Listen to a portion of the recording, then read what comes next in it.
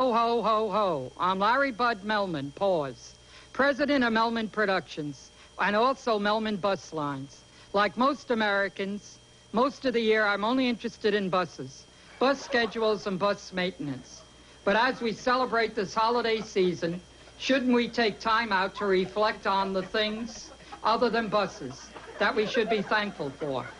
We live in a nation blessed with good roads, clean highway rest stops, and many underpasses with generous 14-foot clearances, not to mention bus terminals where you can have four pictures taken for under a dollar.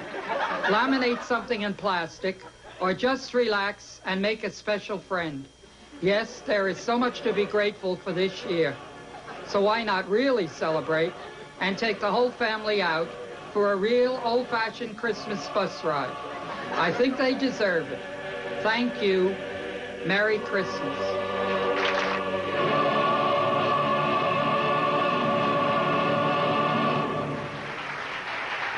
One.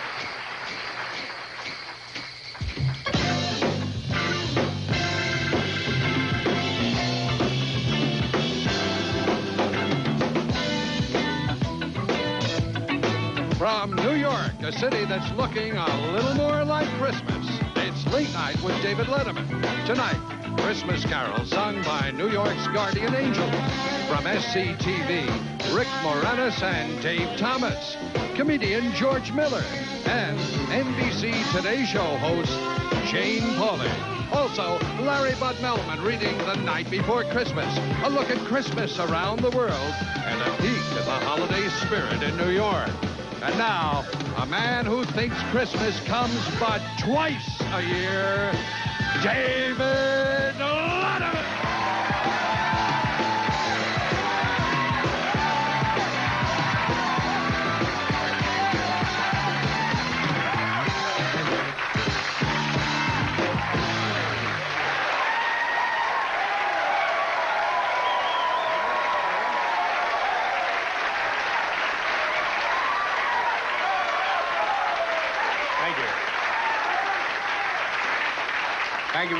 ladies and gentlemen. My name is David Letterman here in New York City, 90 degrees, 86% relative humidity.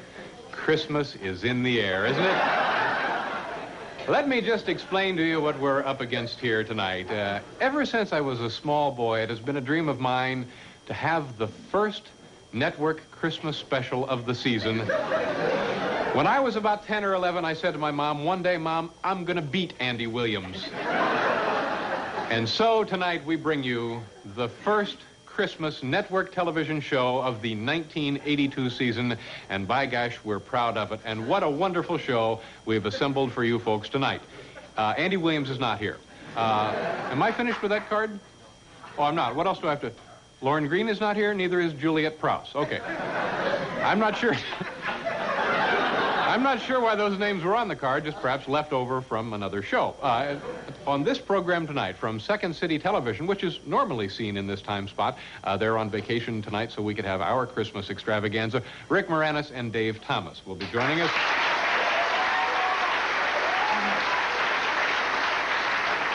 From NBC's Today Show, and a woman who is accustomed to working on holidays because of her duties on that program, Jane Pauley is here tonight.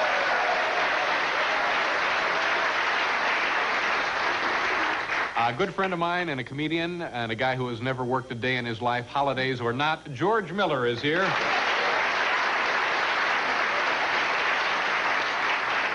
This is exciting. Did you tell him about this earlier?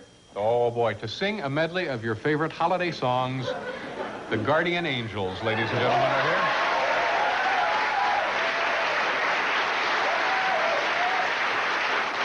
Ah, boy, we're not even uh, close to being done here. We're also going to take a look at New York City. Boy, it really comes to life this time of year with all the lovely shop decorations and activities down on the streets of uh, New York, New York, and uh, a special holiday reading, Christmas greeting from Larry Bud Melman, the man who produces this show. And have we introduced Mr. Paul Shaffer, ladies and gentlemen? Please say hello now. Thank you. You know, I get a little pensive around Christmas time, but I love it. It's a wonderful season. Merry Christmas, David. Thank you very much. Have a nice show. Same to you. You know, uh, Uh, it's festive in here, isn't it? Isn't it? It's Isn't festive. it nice? It's, uh, it's darn festive. Um, now it's even more festive. In the past few weeks, we've all been bombarded with Christmas decorations, Yuletide carols, and the usual crowds of holiday shoppers. But in other parts of the world, Christmas has an entirely different flavor. Of course, every nation celebrates Christmas, but each country seems to contribute its own distinctive style to the holiday. So, in the spirit of friendship and understanding, we thought tonight we would take a look at Christmas around the world. Walk this way, won't you? Christmas around the world. Let's go inside, shall we? Oh, it is festive in here also. May I have the cards, please? Thank you very much. Our first Christmas around the world exhibit comes to us from Finland. Now, in Finland, children leave their shoes outside the door on Christmas Eve, right there, to find them filled with nuts and raisins on Christmas morning.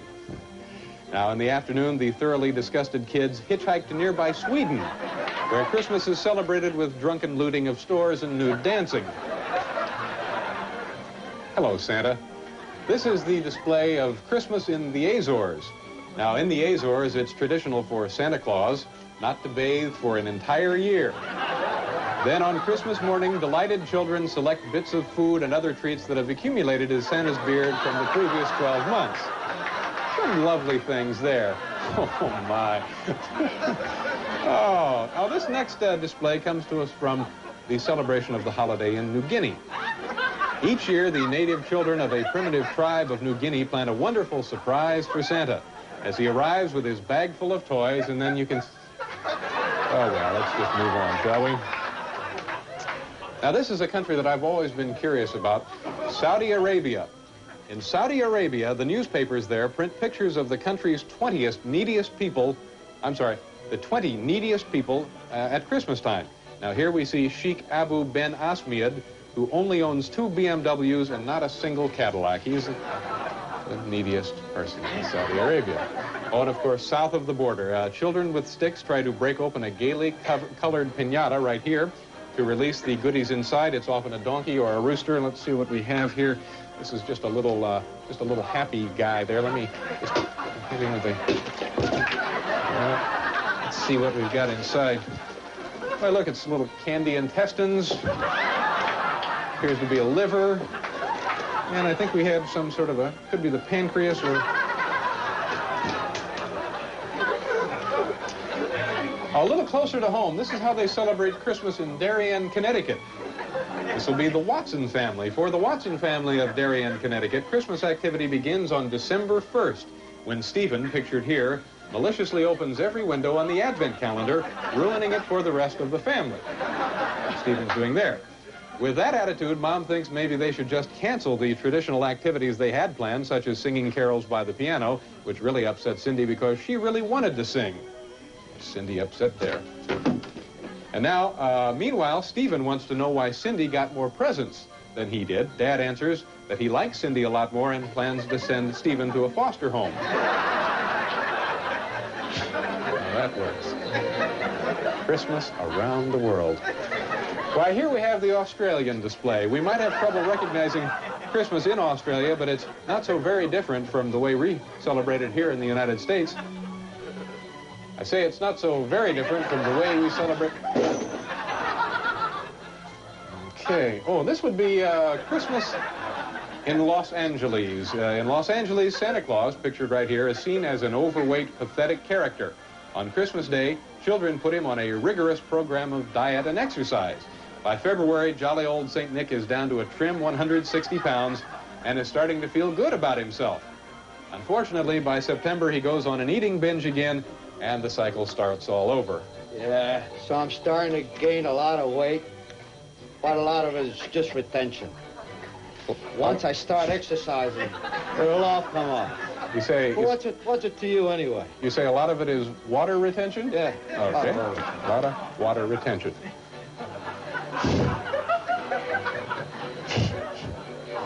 And finally, oh, here we are back in New York City, ladies and gentlemen. How much water would you say you retain over the course of uh, Two gallons a a couple week. of gallons of water Santa will be retaining?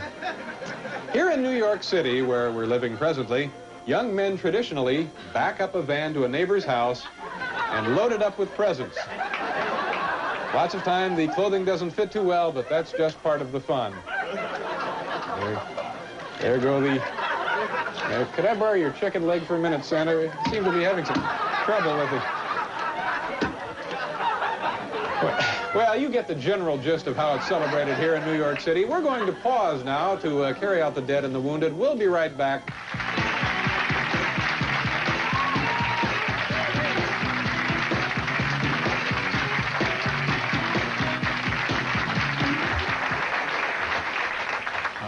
It's fun, isn't it? No Christmas special would be complete without the sound of a choir of angels. And my next guests have brightened up the New York City subway system and are here tonight to brighten up our Christmas extravaganza.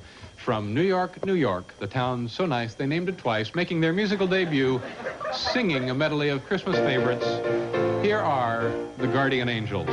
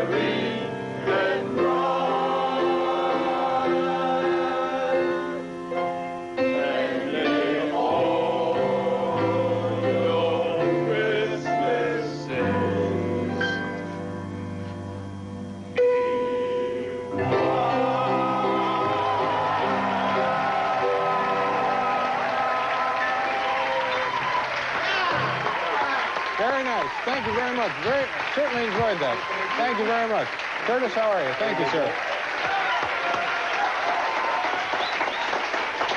Come on here a second. Uh, uh, you probably uh, recognize this gentleman, Curtis Sliwa, and for folks in other parts of the country where the Guardian Angels are not uh, caroling or patrolling subways, uh, tell us about the group and what they do. Well, we're in 37 cities in the United States, even some in Canada, but we're best known for the subway patrol in New York City. That means eight of us, instead of singing, would actually be boarding the trains or on the platforms looking out for your protection. Fellas like you come on with suits like this and valuables inside your pockets. We make sure nobody walks away with them and make sure you get home in one piece. So you're looking out for wimps, essentially, is what you're doing. Um, I, you have a you have a female in the organization. What is your name? Barbara. Barbara, uh, uh, I didn't realize females were in the uh, Guardian Angels. Oh, worse than that, I have my wife, who's second in charge, who tells me she's the boss, and she makes sure the females are treated completely equally. I guarantee you, my foot, my ankle, my knee have been subject to my wife's attacks when we don't treat young ladies equally to the fellas. Did you want to, uh, Curtis, briefly introduce the uh, the folks in the group who were kind enough to carol for us tonight? Oh, sure. Okay, in back we have Little John. John, how are you? All right, we have Gary right here. We have Eric. We have Kurt, Carlos Valentin, Andy Hollywood Rios, Barbara, and what a fitting name for a guardian angel, Justice. Well, Curtis, um, thank you very much for all the wonderful work in uh, the city of New York, and thank you very much for caroling for us tonight on our Christmas program. Uh, Have a pleasant holiday. Where's our record contract? Well, we'll talk to you a little bit later about that. Curtis Sliwa and the Guardian Angels. We'll be right back.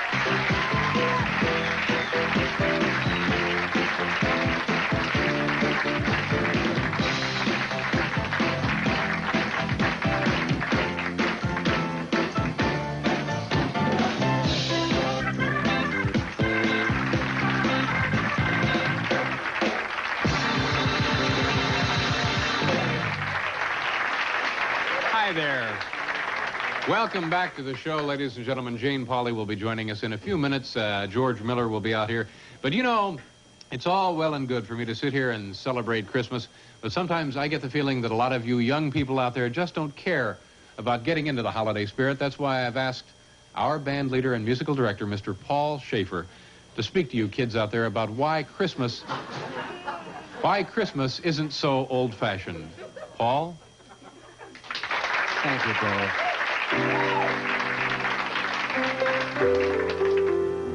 I want to speak to you uh, younger guys and gals. You kill the monitor if you would. Maybe watching and thinking, uh, I can't get into this show. It's this holiday stuff. It's for squares. Well, I want to tell you cats something. Nothing could be farther from the truth. I mean that sincerely. Take the music, for example. Sure, maybe it's hard to get into kind of into a traditional song like. Uh, But I'll tell you something. Put a kind of a Phil Spector beat to it.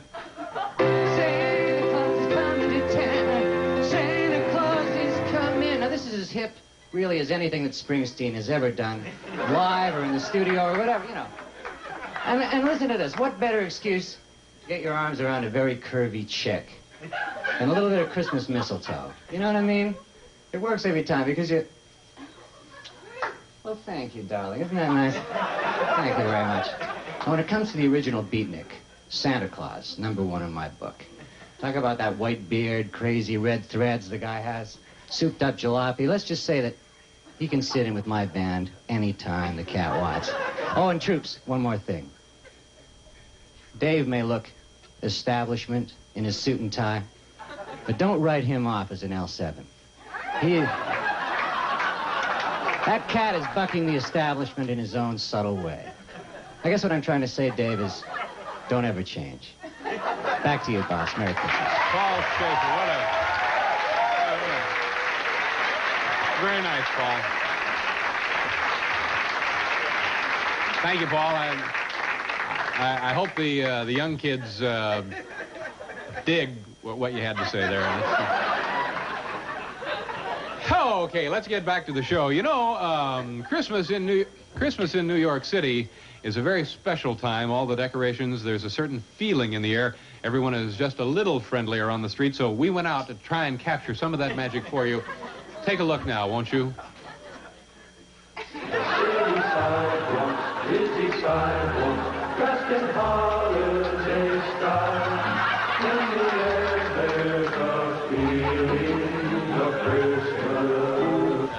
Have you started your Christmas shopping yet? No, not yet. I'm a late starter. Do you, do you get the feeling that people are friendlier this time of year than other times of the year? So I find that so, yes.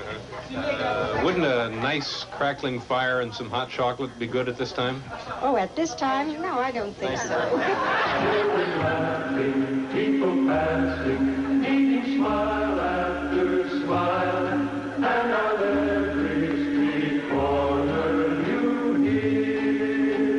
think uh, Christmas is uh, being overly commercialized? Oh, heavens, no. Really. Do you ever do you ever long for a nice crackling fire and maybe some hot chocolate this time of year? I certainly do.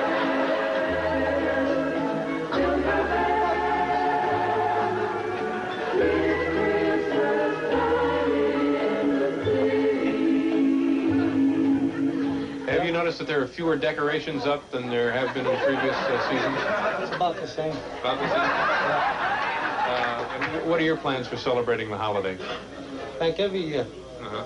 eat and get fired up and hang out with the family. Now, when, when you say get fired up, what exactly does that mean? You know, drink wine Uh-huh. and sort of things like that.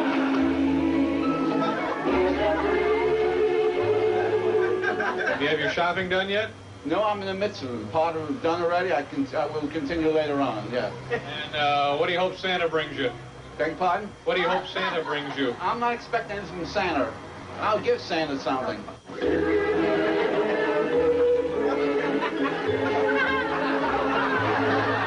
So it's quite a beard you have. Oh, it's really a big mustache. Well, how do you how do you celebrate the holidays? Yes, uh, I just try to be extra good and jovial.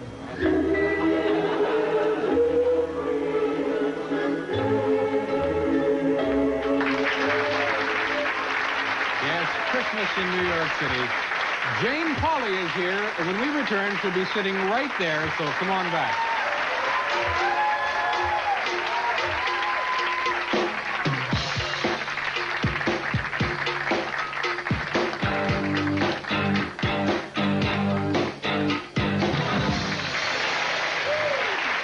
Paul Shaffer, uh, Hiram, there, that's for you.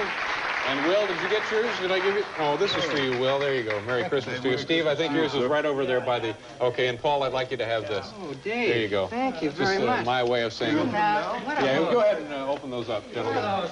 The band, ladies and gentlemen. Paul Shaffer, uh, Hiram Bullock, and uh, Will Lee, Steve Jordan. And it does my heart good to see these guys. Wrap these yourself? Yeah, I did, as a matter of fact. I hope you enjoy them. Look at this. What do It's, the, it's Schrafft's, the holiday sampler. Thank you so much. Thank Sure. you, guys. Thank Sure. you. Oh, hi. Hi, hello. well, what did you get? I got a, uh, just what I wanted, a Sheaffer pen and pencil set. Oh, great. I hope you have a lot of fun Dave. with that, Will. Thank you Very very thoughtful. much for all your help. Yeah. Steve, what did you get? Well, I got a pen and pencil set too. Uh, Oh, that's Schaefer, great. that's A, that's. Maybe too much. Hiram, what did he give you? A sampler. Oh, the boy. You know, uh, yeah. th- for me, these are gifts that keep on giving, and thanks again, gentlemen.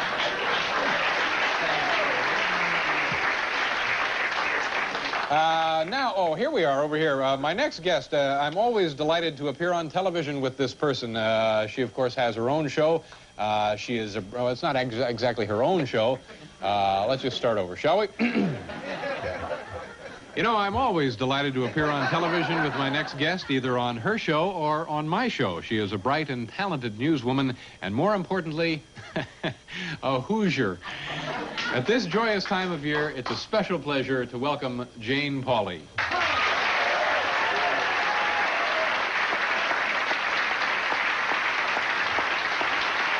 Hello, Jane.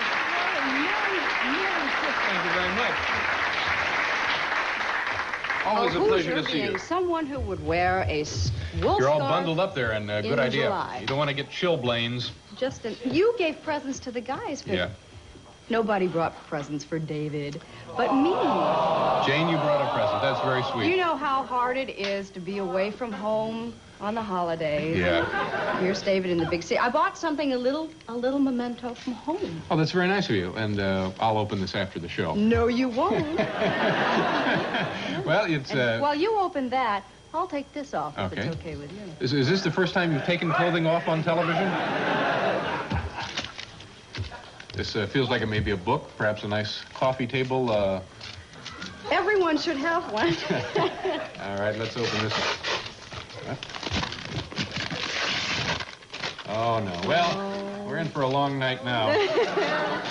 What uh, what Jane has done here is probably everyone's worst fear in life. Uh, this is a copy of my high school yearbook. They're still selling them. I'm wondering if 1965 was not a very good year because they still have them. They're still available, $15. You could buy them like I No, bought No, wait a them. minute. Where did you go to buy this? Broad Ripple High School in Indianapolis. I bought that thing for $15. You know, it's a funny thing about 1965. That was the one year I was ill when they took the pictures. They're so not true. I don't think they're No, no, no. I had the, I had the. Uh,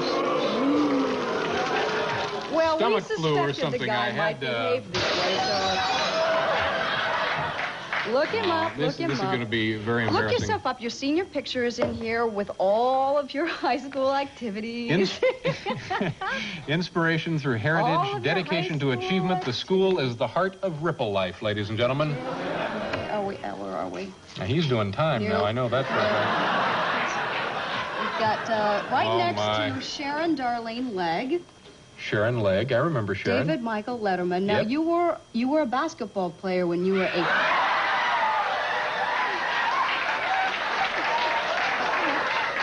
No, don't Oh, yeah, let's get- Wait a minute. Can we get a little closer on that, please? Wait a minute. Get that Yeah. face back. I was just about to say that when, when David was a freshman, according to his book, he was into track and basketball, but he put away those athletic things. By the time this picture was taken, when David Letterman was a senior, he was into power. David's sole activity his senior year, sole activity his senior year, David was a hall monitor. Pretty damn good hall monitor, though. But that's not your only your only Boy, that's quite a here. photo. You know I how was, uh, yearbooks always have ads? They sell ads in the Oh, local jeez. the lo- local business people. Now here's David with uh, this must have been near Christmas because here you are doing your Christmas Oh, shopping at the local canned goods department of this is the store where you used the Atlas supermarket Yep, where you used to 54th and uh, College, I believe. Yep, there I am. the Christmas. This was the year I was voted most likely to do something awful with power tools later in life. oh, my. One final reference, just just for me. Following you by about a couple years was uh, uh, a guy named Tom Davidson, who was better known in those days as Crash. Now, Crash defiled those very halls that you monitored so carefully. A couple years later, rode a motorcycle up and down the halls uh, near graduation. My. Um, it's only been recently when my cousin Tom This is in your family. my cousin Tom admitted that yes, it was he who rode the Harley Davidson up and down the halls. That's my cousin Tom. Let's hear some applause There's for my Tom right cousin there, Tom. Now, where did you go to high school? Why do you ask? Of course, I'm sure that uh, uh, your own yearbook would probably still be on sale. I'm sure they sold out. Where, what high school was it? I went to Warren Central. Warren High Central. See, followers from Warren Central. But I wanted to point something out just briefly here. When you, I just opened this uh, to a page at random, and, and this is not Jane. These are just other people. I looked like all of them. But they all, they all look frightened, don't they? They look like they're on some sort of curious medication that's causing them to, to just. Well, that was, uh, boy, that's just a, yeah, I Did was. anybody ever ask why they called it Broad Ripple? Well, I know why they called it Broad Ripple. It was on the banks of uh, a river, and uh, when you, I don't know, it was something to do with ripples in the river, or, I don't know. Uh, close Strange enough. name. Yeah. How are how are things with you, by the way? Very well, thank you. Thanks for bringing that out here and humiliating me beyond belief. Uh, although I do a pretty good was job of that on my own. It was a Christmas present. I hoped it had been very nice. sensitively chosen. I'm sorry. No, don't don't be sorry. Now tell me about your new uh, uh, uh, sleeping habits. You have you have to get up a little that the way earlier. they wrote that? No, no, I, I sort of paraphrased that. You sure? You took some liberties. Says you have to leave home a Oh, lot a lot earlier earlier now now. for the early today This is show. true. We started uh, this week, uh, early today, uh, which we call ET. It's very nice. Well, the crowd seems to like it. ET is um, is is on in, in many places around the country prior to the Today program, either immediately prior or a half hour prior. Check your local listings. But what that means is that I get up at least a half hour earlier than I did. What's significant about this is that I come to work now uh, a half hour earlier and have noted an interesting transition that takes place in the city. Now, at 5 or 4.45 to 5 when I leave now, these are people who are sort of creeping home after Mm. a long... These are your viewers. Yeah, that's right. Now, for six years on the Today program, I went to work at more 5.15, 5.30, a half hour, 45 minutes later.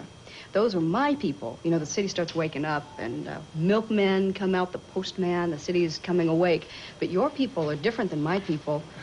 Either that, or these are the shopping shoppers rushing home with their holiday treasures. Now, uh, uh, so you're, what you're saying is you see a, A uh, new side of the city. less I'd desirable uh, folks out on the street that hour We of the could day. call them more interesting. Do they know you? Do they all say, "There- there's Do I stop and chat? Well, I don't know. Do you? Do you? no. No, the idea is to keep moving. Keep moving. Just ride on by. Keep moving. Yeah. Do you get a lot of mail on the uh, television program? I know the show generates a huge quantity of mail, but you personally, Phenomenal amounts of people mail. in- inquiring. Uh, You think Santa Claus gets mail at Christmas? Get a lot of- I got a letter, as a matter of fact, that I just happened to bring with me. This is really sweet. Now, there is a place in Indiana called Santa Claus, Indiana. Really. It's a real place. They have a post office and everything.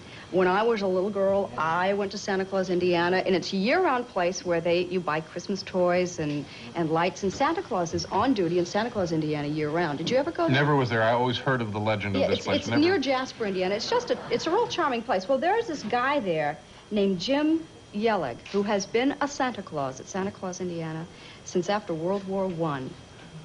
That's a long, Long time. long time. How old exactly is uh, Santa now? Well, that's the reason I mention it is that he's only 88. And in order to get his name mentioned on NBC on our program, he's going to have to wait 12 years until he's 100. And Willard Willard will mention anybody mentioned who is birthday. So the guy's only 88, but they're having a Christmas in July party for him on July 23rd at the Holiday Inn there in Jasper. Uh-huh. And yeah, I like just- I know. I just thought it, I'd be nice for you to wish Well, Jim Yellig yes. a special Uh, a happy Christmas. happy Christmas, happy birthday, or whatever to you, Jim, and, and keep up the good work and uh, have fun at the well. Of course, you can't go wrong with the Holiday Inn in Jasper, and uh, it's, it's very nice. Now, in addition to this sort of thing, do you get uh, uh, people writing you about personal uh, portions of your life, or no, do you? About your life? I mean, do they? What are you getting at here? I could I could help if I. um, I don't see that one. Well, let's see. Wait a minute. What's, how, how far have we gotten? We get, took care of that. Embarrass Dave with the photos. All right, we've done that. Say hello to the old guy. We've done that. Um, we're down here to do. Do people write complaining? Oh no, this is an interesting question. I'm just let me ask you this. Oh. Do people write complaining about cat hairs on your clothing?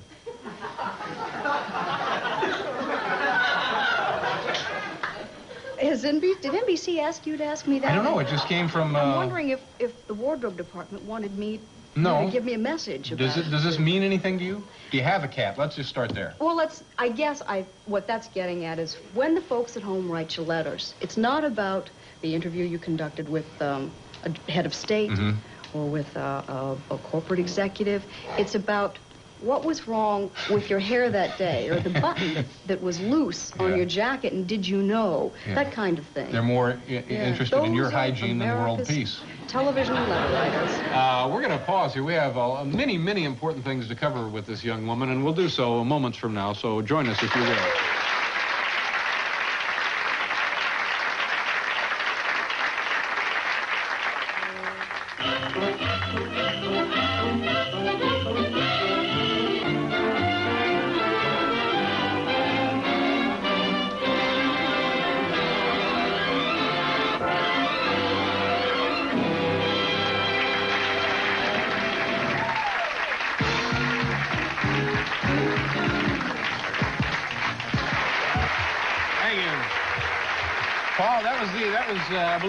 Holiday classic "Keep on Truckin'," wasn't it, Paul?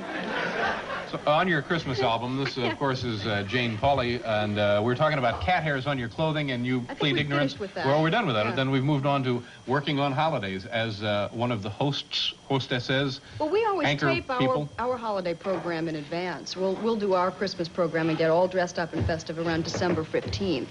Really? Yeah. Well, how can you keep the the, the show current and uh, vital if it's taped a couple of weeks We're ahead? professionals. So you just, boy, that is professional. You know, part of the charm of, of, of a, a program like this and, and ours is the, um, uh, it's, it's so real. You know, the fire in the fireplace back there is so real. Periodically, you'll see a hand dip down the back and maybe Yeah. a little sterno on the fire. you know what I mean? And there are presents over there. We have children. Now, we top you, and from time to time, we will decorate our set with live children. Mhm. The children, perhaps, of, of some of the moguls. And Oh, mogul one time, child- children. One time, I pointed out those beautifully wrapped, beautifully wrapped packages to one of the little children, she's a little three-year-old, a beautiful little girl named Linda.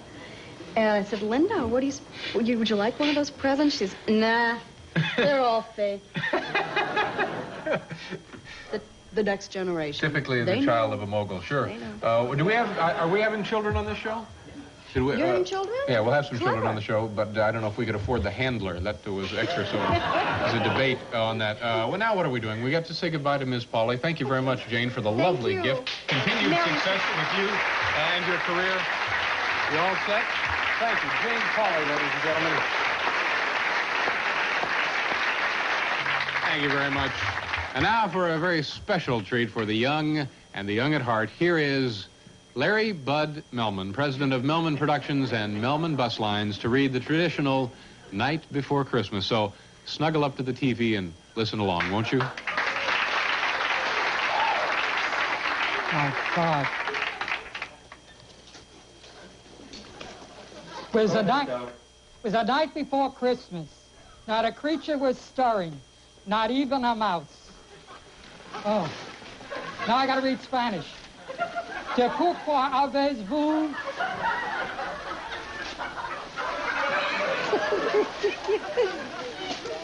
oh. Ah.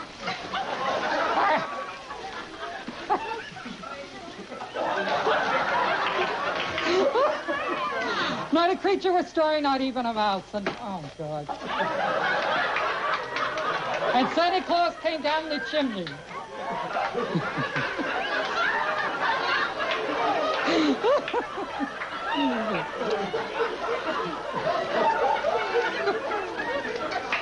Came down the chimney. Now I, I don't know. The... Oh God. So as I was saying before, not a creature was stirring, not even a mouse. And old St. Nicholas came down through the chimney and gave out the presents to the children. And that ended Christmas.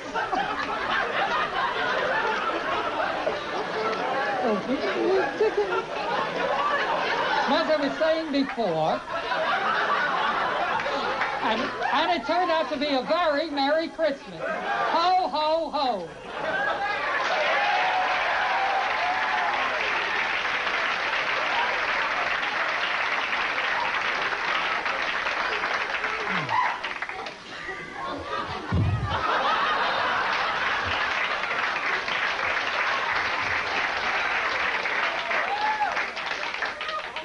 It was magic, wasn't it? As much as I hate to say this, we're going to pause. And we'll be right back? Fine.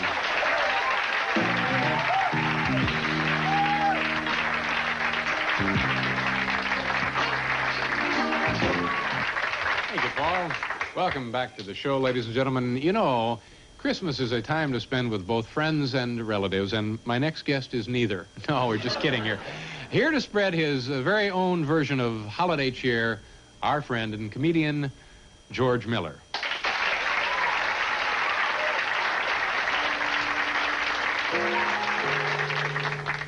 You know, the Christmas holidays are supposed to be a joyous occasion, but many people get depressed around that time of the year. Now, I don't think that's so bad. In fact, I think if you're going to feel lousy around Christmas, you should go all the way and deliberately do things that will make you as miserable as possible. This eliminates confusion and the hope that things will get better. So here are just a few uh, suggestions to add to your holiday depression. Always try to spend Christmas Eve riding on a Greyhound bus. If this is impossible, try to be living in real seedy quarters on Christmas Eve. The Ace Hotel would be a good choice. For dinner on Christmas Day, have vending machine snacks, or go out to the restaurant or to the airport by yourself and have dinner at a host restaurant. Try to be at a laundromat on both Christmas and Christmas Eve. If you have time after finishing your wash, don't forget to attend a pornographic movie by yourself, of course. Now, this is very important. Plan things so you will be coming down off speed about 8 o'clock on Christmas Eve. That horrible feeling will add extra depression in almost any situation. At about 11 o'clock on Christmas Eve, try to watch an outdated rerun of Meet the Press. Listen to Mel Tillis sing Ruby, Don't Take Your Love to Town about 15 or 20 times. In Christmas Eve by playing that most demanding of all card games, Solitaire. On Christmas Day, call up bowling alleys and ask them to page anybody. And for your New Year's resolution, vow to continue living in the past. Remember, these are just suggestions. You may be able to come up with depressing ideas of your own. If you do, send them along to me so I can use them too. After all, Christmas is a time of the year we should all share.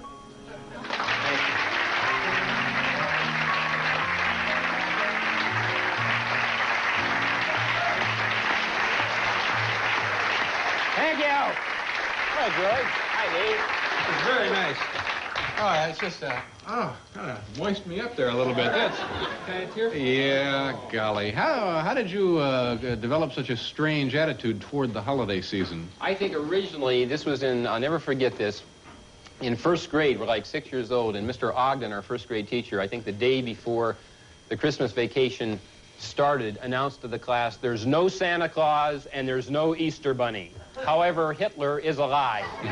And I think that was, that was probably it. And there have been other occasions. Probably, I guess, the worst Christmas Eve I spent was I was on the road and my car broke down and I had to get a uh, used car. And I spent the entire Christmas Eve over at Jack Ruby Pontiac, which, uh, not the best Christmas Eve that, that you could hope to spend. He, he was a Pontiac dealer? He was a Pontiac dealer at one time. At At one- one time. at one yeah, time. Yeah. Oh, Be This is- then he had know other experiences Yeah. later on in his life. Jack Ruby Pontiac. You didn't know that, huh? No, I didn't know he was just an educational bundle Thought he had a. Ford agency there for No, no, it was it was Pontiac. Pontiac. Yeah, yeah. Uh, now, my mother always uh, one thing. This is like an upbeat because that was all kind of negative. My my mother and I always try to have at least three or four unfortunates over to the uh, to the house on Christmas Day, uh, men and women who have no friends or relatives. And uh, whenever we say the you know the holiday blessing, I always try to give special thanks that I don't have to eat the rest of my meals with these people. So. Kind of a softy, huh? Yeah, you know, we were talking. You guys were talking about this. Uh, well, let's not get into that now. But uh, you guys were talking earlier about the uh, the uh, commercialization of Christmas, Oh, which sure. I just hate. Hate I that. think that the the uh, the S's in Christmas have been replaced by dollar signs, Mhm. and it just makes me sick to my stomach. Thought I'd do a little acting there. Yeah, you did a nice job. along. Thank you. Uh, now, I noticed when you travel, uh, you're out here again from your home in Los Angeles. Yeah, uh, right, Uh, you, Los Angeles. you watch a lot of television. I A lot of. TV. I was going to talk about that the last time. That's Mhm. right, a lot of TV. And uh, I wanted to give a plug to the TV Guide since they never give a plug to me whenever I'm on any Uh-huh. program. And uh, you always know what's going on. Like my, I'm really into, which by the way I love to say Mm-hmm. into. I'm really, uh, I'm really into the People's Court. And uh, yeah, yeah, you too? Yeah, you too. And uh, yeah, tonight I have to hurry home. In fact, after the show because they're having the case of the bumped sausage man, and I, I wouldn't right up there with a Scopes trial and Sacco Vanzetti. So uh, I wanted to watch that. And also a TV guide. I just read this that uh, uh, Goofy and Daffy Duck now have their own shows on Saturday morning television, which I I think that's very good. I think it's important that little kids learn to identify with retarded animals. So. Uh, we and my friend, I was going to mention this on the last show too. My friend Gordon McClee was with me backstage in the dressing room, and I've been really getting into game shows recently because of Gordon. Uh, he won a lot of money. He has tremendous knowledge in specific areas. He won forty thousand dollars on a game show. His uh, category was athletes who have been charged with rape. So.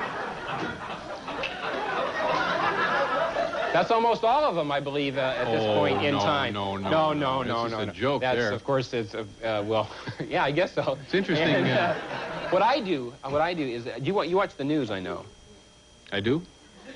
I, yeah, I think so. Mm-hmm. And uh, what I do, I watch the news every. See if you do this too. I watch the news every day at five o'clock. If a crime's been committed and the crook gets caught, I always think maybe I could have done better. Now, kidnapping is the best example. Kidnapping is always the same. They grab somebody from a prominent family, they ask a half a million bucks, the FBI is called, and they get caught. Now, see, what I would do, I would eliminate the FBI because I wouldn't mess around with anybody prominent. I'd kidnap maybe 5,000 ordinary people and demand six, seven dollars apiece. Mm-hmm. That would do it.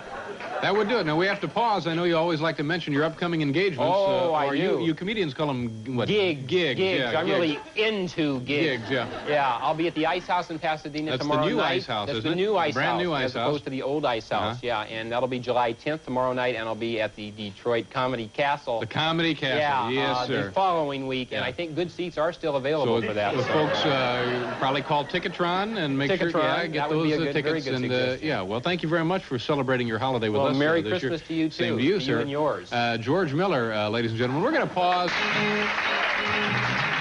Be Christmas without visitors from the Great White North, and tonight we have several from SCTV.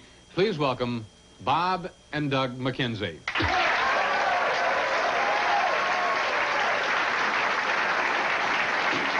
Wait. Hold it, eh? No, uh, you can't start until uh, my brother does the theme, eh? Go. Oh, uh, well, uh, don't you help me with it? Like, Oh, Christmas. Yeah. Uh, in July. Okay, here's our Christmas July theme.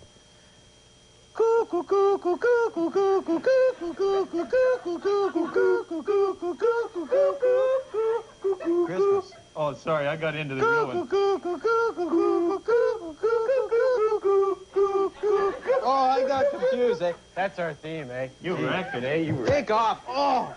Okay, a good day and like Merry Christmas, eh? Yeah. In July. I Bob McKenzie. This is my brother Doug. How's it going, eh? We got like some topics, eh? Yeah. It's beauty having Christmas now. Like I got like 160 days to get a date for New Year's, eh? okay. Okay. They call us up and say, hey, you hosers want to come down Christmas? we'll take holidays wherever we can, eh? Yeah. It's like the whole year's a holiday for us, eh? So. Yeah, we're on more. holidays anyway. Yeah, we don't mind, eh?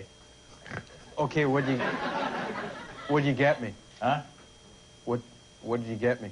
Oh, well, I got you something uh, uh, uh, that I'd rather give you later, okay? Okay. So let's do another topic. Oh, okay. It's a surprise. It's a big secret. I don't want to blow it, eh? Yeah. Okay, uh, another topic then. Uh, okay, you know, uh, you can use like uh, deciduous trees, eh, for Christmas in July. Those two people knew what I meant. Yeah. Okay. Okay, so like uh, they called us up to come down here for Christmas July, eh? So we came down last Wednesday to see the Macy's parade, eh? Where was it? Yeah.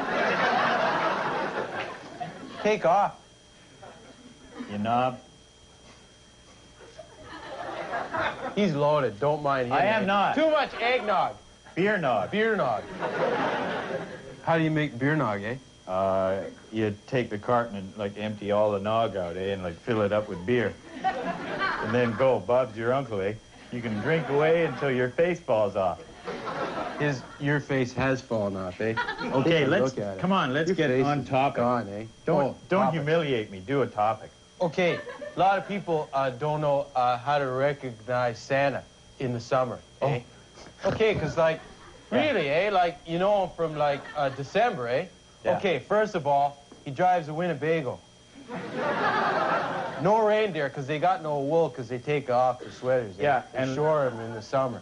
And he has like a a, a crew cut, eh? And uh, and no beard because it's summer and hot, eh? He looks like uh, Curly from the Three Stooges. and uh, and, instead of like going ho ho ho, he goes woo woo woo woo woo woo. Yeah, good. That's what, that's what Santa does. Whoop, whoop, whoop. And Santa's helpers are like Mo Claus and Larry Claus. Yeah, and like for next, uh, when he comes in, eh? When he comes in, he doesn't come in through a fireplace, uh, chimney. eh? He comes in through the air conditioner. And like, don't leave him like milk and cookies, eh? No, leave him a, an assignment like. Uh, Please fix the kitchen sink. It's leaking. so, like, if you want to see Santa, he's like Curly, eh? He'll be there in the morning still working on it, eh? what? Yeah. Okay, I none think of my we topics are working. we all really appreciate uh, your idea. I got new boots, eh? Yeah. But last Christmas. Oh, geez, my beer went over. Beauty! He wrecked his beer! Oh, no. Quick! Get a dog in here to lick it up, eh? That's beer and orange juice. What a nice concoction. I like that. That's Yeah. a new one. That's some kind of screwdriver, eh? Okay. Look at you. You've really changed. Look at him for a sec. What? Look at his face. Look how dumb his stare is. Have you ever noticed that? Take off. When you look look, this at- guy's making weird faces, eh? Cut? Oh, okay. Oh, good day. Yeah.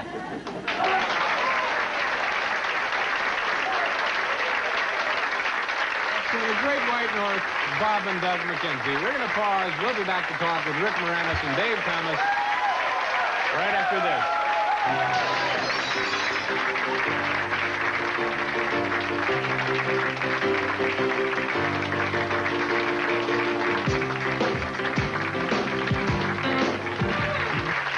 Back to the show. Uh, Dave Thomas and Rick Moranis are here, and it's uh, Christmas uh, here, as you gentlemen mentioned in July. You journeyed down from. Uh, now you're always you live in Toronto. You came. Is that right? Yes, we do. Yeah, and, And you we journeyed down by plane. must have been very exciting. Yeah, it was. Now uh, let's talk a, a little bit about Bob and uh, Doug. How are those? Uh, your album is still uh, selling a lot? Gone. It's off over? the charts. Off the charts. It's uh, it's a memory now. Yeah. How high on the charts did it get? It went to number eight. Yeah. Yeah. Well, that represents a lot of dough, doesn't it? Top ten. Yeah, that's right. Yeah, we're waiting for it too. The record company says it's uh, it's in the mail. For uh, uh, again, I, and I hate to burden you with this, but Yeah. for people who are not aware of the origin of uh, the McKenzie brothers, do you want to outline that for us? Your turn. My turn. Yeah. I do He's- this he all does the a time. great- all Folks, right. I just want to say one thing before I do this. Dave Thomas is sitting in this seat here. Maybe you can see this on the wide shot. This is known as the hot seat in talk television because the last time we were here on your show in January, he fell asleep in this seat, I right didn't- on the I air. didn't really. You actually fall asleep. dozed off? No, that's not fair to you. What happened was that I cut. I- oh boy! Dozed Somebody off. get me a shovel, quick.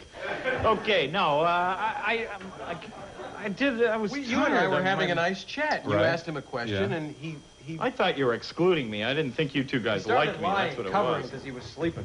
No, really. Actually, well, you're probably exhausted, weren't you? Although, That's exactly right. Thank you. but but it, it wasn't apparent from the discussion. No, no, not at all. And uh, you, we're going to find him nodding off too if he, uh, if we uh, don't. Uh, Yeah. Boy, okay. I don't know. So, uh, uh, the, uh, I'm sorry. in but- Canada, as well as having dollars worth about 10 cents uh, American, uh, we have something called Canadian content regulations, where on television and What are you radio. doing right now? Is this the question he asked This half is an answering hour the ago? question. Yeah. Yeah, why? Oh, okay. Why don't you go back to little sleep, snooze? Dave? Yeah, go ahead. I'll be here if you need me. Uh, in the third season of SCTV, when we were, we were doing a half-hour show before we went on to the network, and the show was two minutes uh, longer because of less commercials being on the public network. And the producers asked us for uh, that that two-minute segment be Canadian, Canadian content.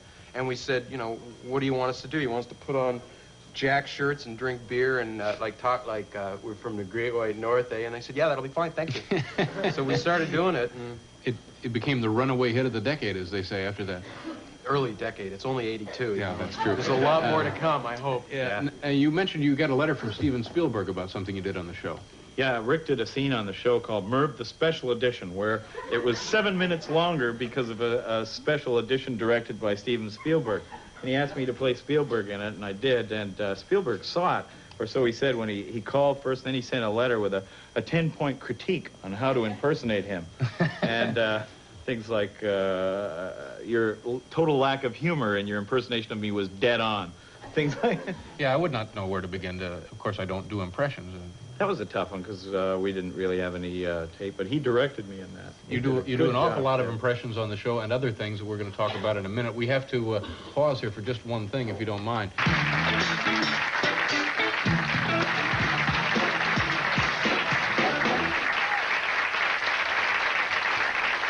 Well, it's really coming down now. Better throw another couch on the fire. Of uh, we're back with uh, Mr. Dave Thomas and uh, Rick Moranis. You mentioned, I mentioned, someone mentioned uh, impressions.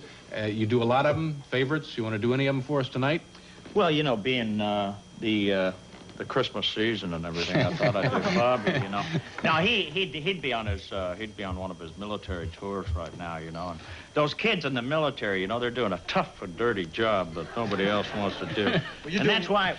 Bob would be doing his Christmas special about now, wouldn't he? For Yeah. the real Christmas. Yeah. Yeah, he'd You'd be doing across the hall now. working on the special. And he wouldn't let somebody cut him off like Sorry. that either. yeah, you'd be off, kid, you know.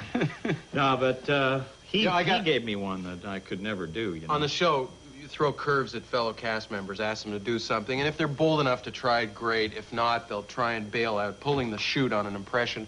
And sometimes you'll get you'll get an impression to do, and you go into the makeup room, and the makeup girls will laugh right at you and say, "You can't look like that." so I wrote this piece with Dick Blasucci and Paul Flaherty. It was uh, it was another Merv piece. It was the Merv Griffin show where Merv goes to Mayberry and plays the part of Andy Griffith. So Eugene got Floyd the barber, and he wound up looking exactly like him. He was terrific. John Candy got Otis, the drunk, and he was fabulous in that. Joe, the boldest attempt at Barney Fife anyone had ever seen. Catherine was Aunt Bee, and Dave got Gomer Pyle. now this man can do Bob Hope. Rich Little has problems with Bob. I mean, his this he can do any impression, but he couldn't do Gomer Pyle. He can sing like Gomer Pyle. Yeah. I I just have problems with his speaking voice. I can't get it down, but if you want me to sing... That always struck me as strange that he would have such a goofy speaking voice Yeah. and a powerful singing So voice. the, the scene ended in uh, at this birthday party, Gomer's surprise birthday party, and Gomer was singing New York, New York, and then Merv turns around and says, "Isn't he fabulous? Gomer Pyle is with us." so we're about to shoot the scene. It's about 10 minutes till we're shooting the scene, and I walk into my dressing room and I overhear by accident him talking to the props guys, and he's saying, uh, he goes, uh, "Get me a plate of peas. I just want a plate of peas and set it on the piano." And I go, "Wait a second, what's going on?" I said, Liz, the reason I want the plate of peas is after I do the song, when it comes for me to change into a speaking voice, I'm going to go right to a plate of peas, choke to death. Somebody's got to give me the Heimlich method, but I'm not coming to. So anyway, in desperation, we came up with the way out of it, which was um, the song finishes, and I go, Gomer Pyle is with us. And, and Dave says, Geez, it's, you know, lame Gomer Pyle impression. Geez, it's really great to be here. And I go, Isn't that a good Gomer? Fred Travalena is with us. The one he did there is better than the one I actually did, you know? all right. Uh, Bob, uh, Hope is the most difficult one? For me to do? For anybody, I guess. You've mentioned that.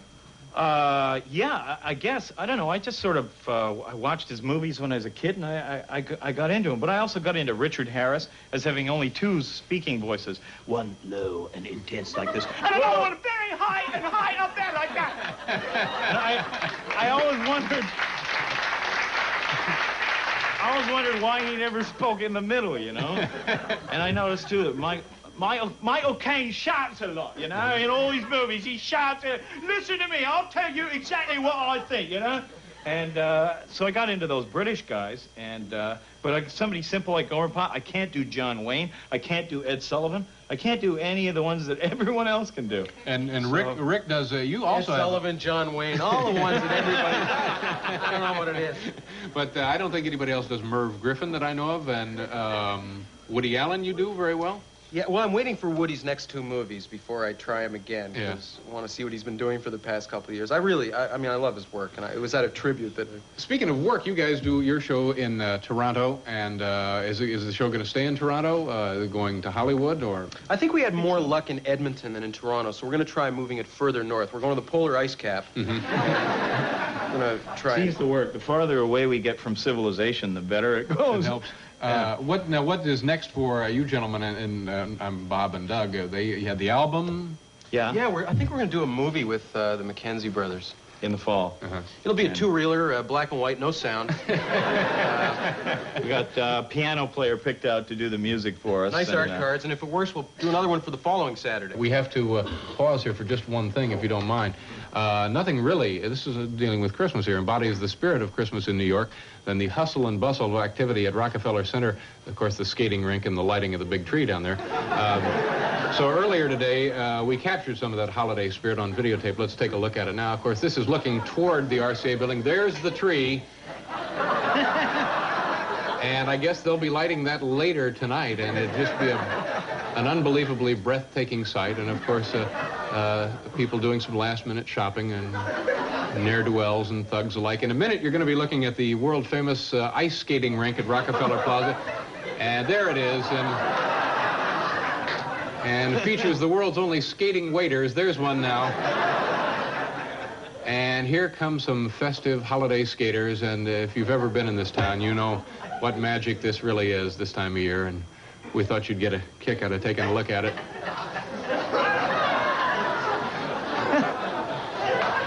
Yes, there they go. The happy skaters on their way to holiday fun here in New York City. Thank you very much for coming Thanks. down Merry here Christmas. to Merry celebrate the holiday with us, ladies and gentlemen. Rick Moranis and Dave Thomas. Merry Christmas. We're going to pause here, but we'll be back.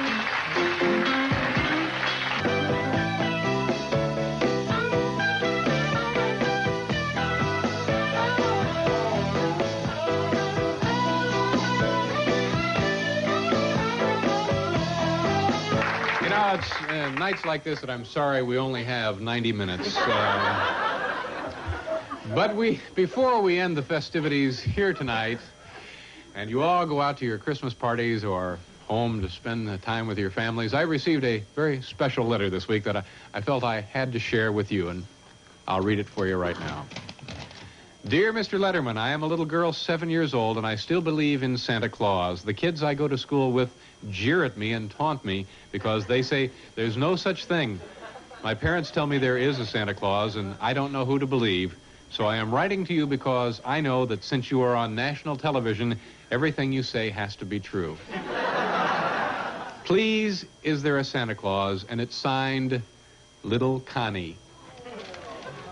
Well, you know, Connie, there is a Santa Claus, and to prove it, we have him here tonight. Would you please welcome my next guest, Santa?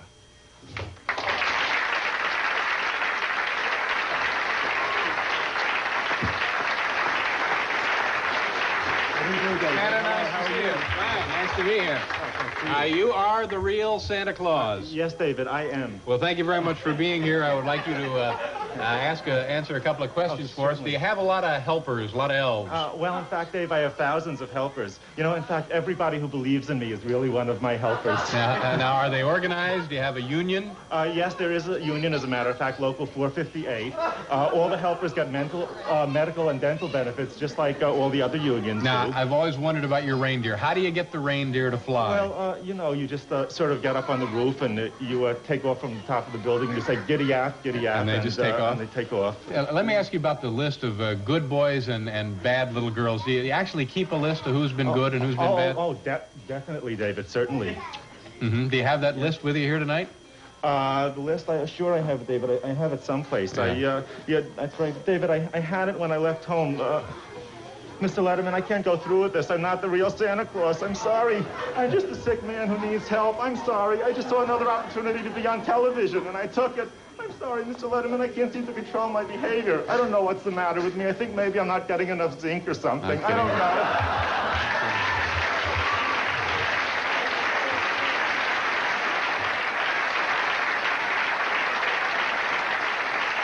Well, it's been quite a night, hasn't it? I'd like to thank everyone who helped make this an extra special Christmas for us. Thanks for watching. Have a good night and a pleasant weekend. We'll see you New Year's.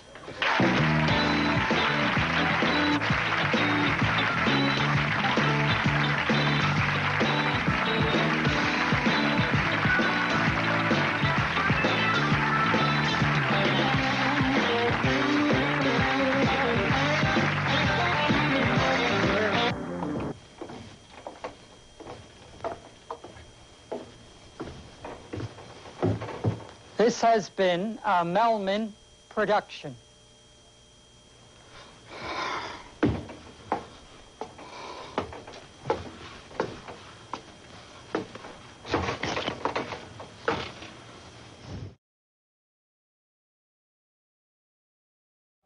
Oh, it's a fine show. You came on a good night, ladies and gentlemen. I- I've already introduced Paul, haven't I? That's kind of an awkward move for me now here, isn't it? I just... I don't know what to do with it.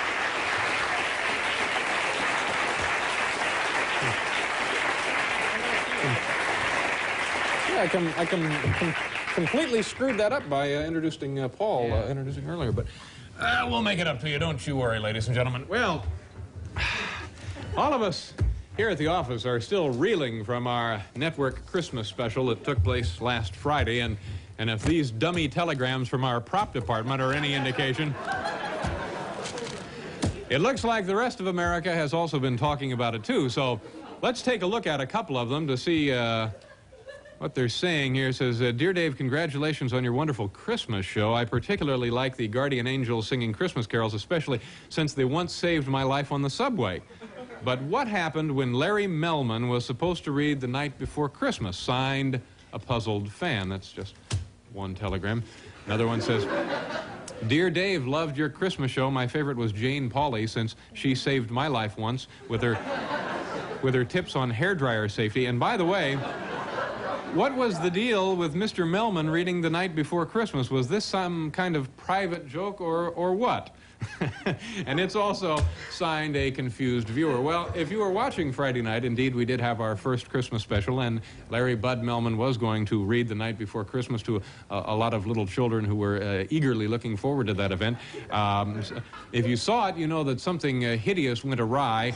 Uh, and so to explain that incident, uh, we'd like to introduce uh, the two people responsible for it. Uh, late night production late night production assistants who, in order to protect their future careers, we're just going to call Babs and Jude. They're over here in the shadows.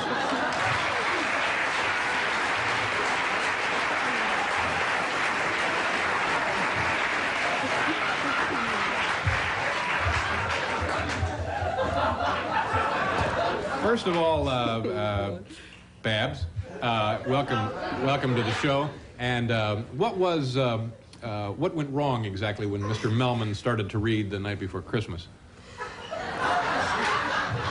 Well, um, actually, I had thought that the um, "Twas the Night Before Christmas" was on cue cards. Mm-hmm. And I didn't have it put on cue cards because I thought we, um, we had the book of the poem. Yeah. So this is a just a wires were crossed. Jude thought that the man would read the night before Christmas off cue cards. You thought he would read it right out of this book right here. Well, not that book. Yeah. Uh, now, for uh, just tell us what this book is exactly. Well, I had put on the prop list that we needed a book, but I didn't say what book we needed. Mm-hmm. I just said I just said we needed a book, so they, they just picked any book, and it happened to be an, uh, a French catechism book. Okay, so essentially that's what happened. Uh, the kids were assembled. Larry Bud was going to read the night before Christmas out of the French catechism book. No cue cards. No right? cue cards. Okay, let's uh, let's show you how that went. Uh, this was Friday night from our gala Christmas spectacular, and uh, just take a look at the monitors. Larry Bud Melman, ladies and gentlemen. God. was a night was a night before Christmas. Not a creature was stirring, not even a mouse. Oh, now I gotta read Spanish. Je pourquoi avez-vous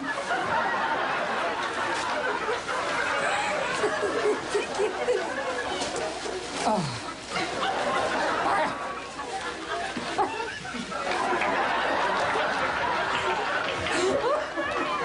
Not a creature was stirring, not even a mouse. And oh God. And Santa Claus came down the chimney.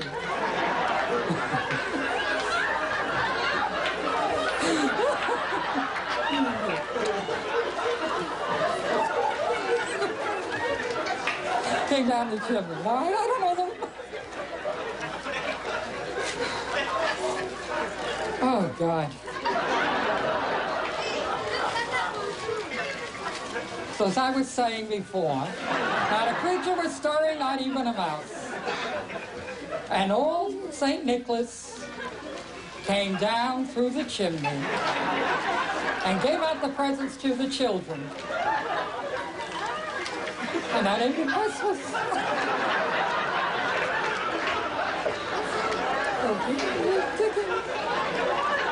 As I was saying before, and, and it turned out to be a very Merry Christmas. Ho, ho, ho.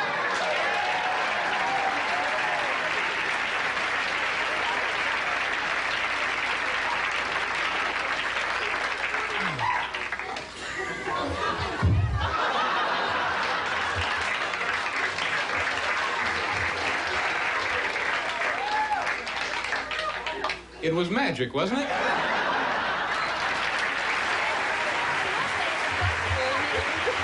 It was indeed magic. Um, And, and that's, that's what happened, and I want to thank you uh, two women for uh, having, having the courage to come forward to tell your story here tonight. Uh, and I, let me just say that they do wonderful work, and we're proud to have them on our staff. We're going to pause. Uh, we'll be right back to meet Mr. Larry Walters, the armchair balloonist.